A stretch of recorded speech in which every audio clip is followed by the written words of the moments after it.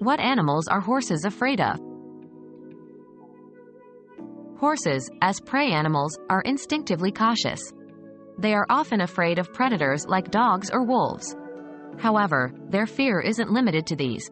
Unexpected movements or noises can also startle them.